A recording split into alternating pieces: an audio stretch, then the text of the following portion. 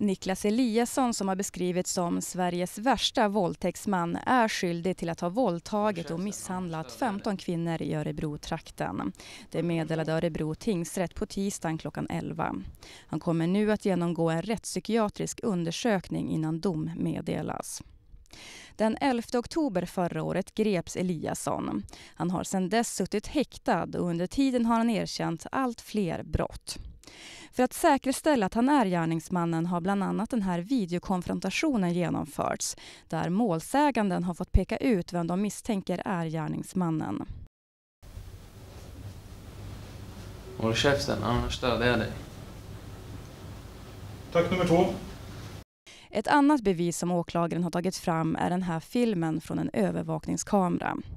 Polisen misstänker att mannen på cykel är Niklas Eliasson. Tio minuter senare överfalls en kvinna bara några kvarter bort. Våldtäkterna har pågått i flera års tid, ända sedan Eliasson gick i gymnasiet.